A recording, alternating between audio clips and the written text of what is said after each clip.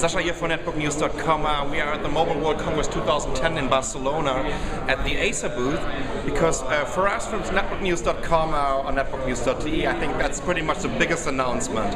Uh, we see the first Intel Atom Pine Trail netbook, 10 inch, with a new NVIDIA Ion 2 chipset. So, and this is the Acer Aspire One 532G, this little fella over here. And I just opened the device manager, and as you can see, it's showing the GMA 3150 plus the NVIDIA Ion. And down there you can see it's Intel Atom Pine Trail, the N450. So to give you an idea about the specification of the device, uh, well, maybe we first take a look around the system itself. Um, we have a connector for the PSU VGA out, USB 2.0, and here we go. There's an HDMI out.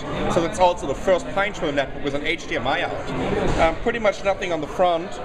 We have a 4-in-1 card reader, uh, jacks for the microphone and the headset, USB 2.0, Kensington keylock and a connector for your Ethernet cable. Uh, on the back we have a huge 6 cell 63 watt hour battery which should give you on the Intel chipset about 10 hours of battery life and you can easily access a hard disk, Wi-Fi, there's a mini PCI Express slot behind this and the memory slot. So something that I really like. Uh, it reminds me of the Acer Aspire One 532H that I just got in Taiwan and um, yeah, let's talk about the specifications. Uh, Intel Atom N450, 2 gigabytes of RAM, 320 gigabyte hard disk, and Windows 7 Home Premium.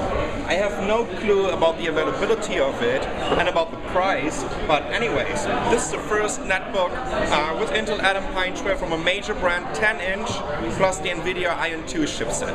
This is Sasha for NetbookNews.com at the Mobile World Congress in Barcelona. Thanks for watching.